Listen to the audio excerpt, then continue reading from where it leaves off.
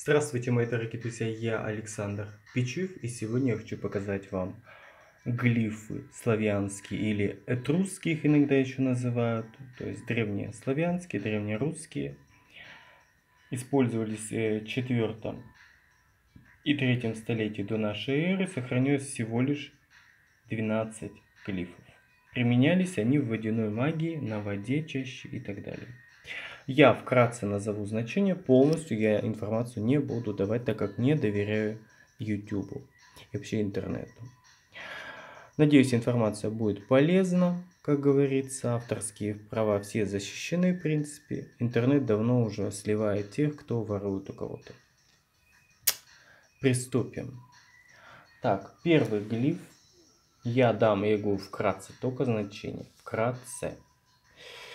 Полную уже, как говорится, другое дело. Так, первый глиф это для усиления воли и в борьбе участия. Второй это у нас, так, сейчас приближу немного, серебрение на рукописи. Так, второй мать воды. Третий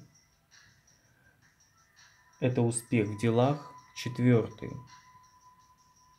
сила водной магии. Пятый. У всех спираль, закрученная в определенном моменте. Так. Пятый. Это у нас стоп в делах. Шестой.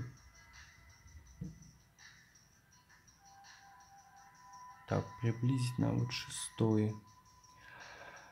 Так, шестой. Сыпь на коже, то есть это порча. Седьмой. Подчинение человека восьмой.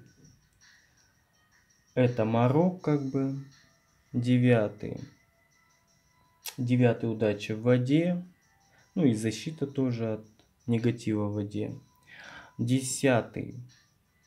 Это у нас Марок, одиннадцатый. Это запутать, утопить, то есть негатив по сути.